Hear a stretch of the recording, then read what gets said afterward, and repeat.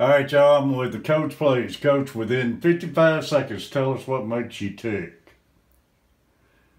Um, It's ticking. competition Competition. to be the best.